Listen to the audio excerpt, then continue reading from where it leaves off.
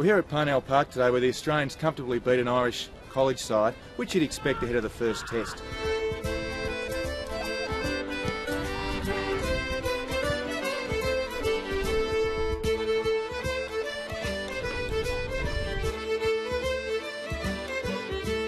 Daniel Wells captained Australia for the first time, an honour he was given today, and he spoke to us about what that meant to him.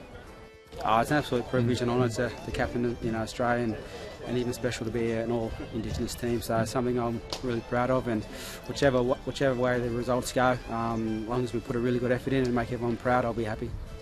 We spoke with Australian coach Michael O'Loughlin after the game. He was pleased with the performance overall, but acknowledged there's work to be done ahead of the first Test match.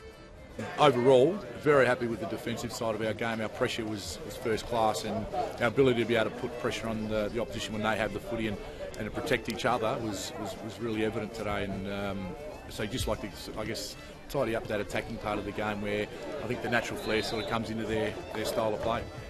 That's all for us today from Parnell Park. Keep clicking back to afl.com.au for all the latest updates.